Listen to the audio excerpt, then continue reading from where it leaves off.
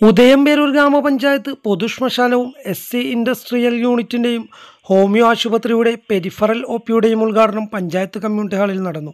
K Babu M L എയുടെ അധ്യക്ഷതയിൽ നടന്ന ചടങ്ങ് വ്യവസായ നിയമവകായർ വകുപ്പ് മന്ത്രി പി രാജീവ് ഉദ്ഘാടനം ചെയ്തു. Panchayat president Sajitha Murali Mulanthuruthy block panchayat president Shaji Madhavan ജില്ലാ medical officer doctor Mercy Gonsalves Thrissur ജില്ലാ medical officer doctor Leena Rani ജില്ലാ പഞ്ചായത്ത് അംഗം അനിത ടീച്ചർ ഗ്രാമപഞ്ചായത്ത് vice president S A Gopi standing committee ചെയർമാൻമാരായ Sudha Narayanan Mini Prasad T K Jayachandran panchayat secretary Shaji K H homeo dispensary medical officer Ramya N K assistant engineer Arathi Sadhu എന്നിവർ പങ്കെടുത്തു.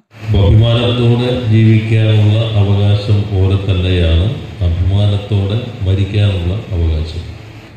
ഇപ്പോൾ തുടങ്ങുന്നതിനേക്കാളും നല്ല വൃത്തിയിലും സൗകര്യത്തിലും തുടർന്ന് കൊണ്ടുപോകാൻ കഴിയേണ്ടതുണ്ട്.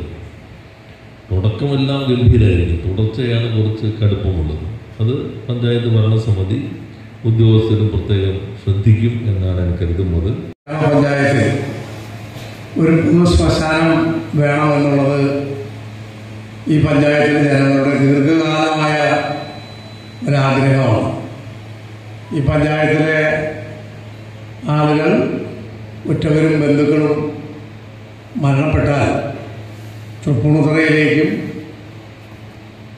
നെട്ടൂരിലേക്കും ഇരുമ്പനത്തേക്കും മുളന്തുരുത്തിയിലേക്കും ഒക്കെ ബന്ധുക്കളുടെ ഭൗതിക ശരീരമായി നെട്ടോട്ടമുള്ളൊരു ഓടുന്നൊരു സാഹചര്യം ഉണ്ടായി